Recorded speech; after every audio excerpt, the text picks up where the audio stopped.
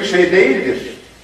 Ve de bazı arada sırada yapılan işlerle, arada sırada kılınan namazlarla şuursuz bir şekilde, bilinçsiz bir şekilde ibadet olarak değil de adet olarak kılınan namazlarla insan Allah'ın cennetini kazanamaz arkadaşlar.